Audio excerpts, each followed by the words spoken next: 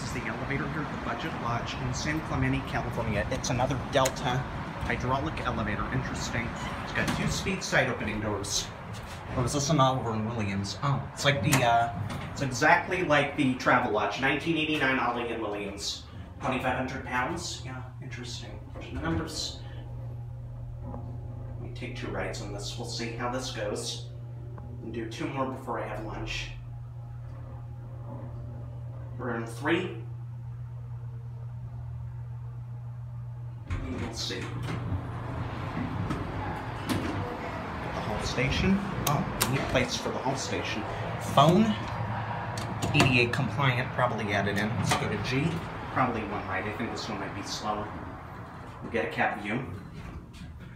Pretty nice elevator. Yeah, it's kind of slow, so we'll just do one right. Numbers. I don't to make my friend wait too long. Push button go out. And people are getting on, so yeah, one right is fine.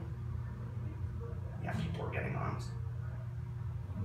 Pretty nice elevator. Interesting. Fine. I know nobody's getting on. There's your older GAL interlock. Nice elevator. Very interesting.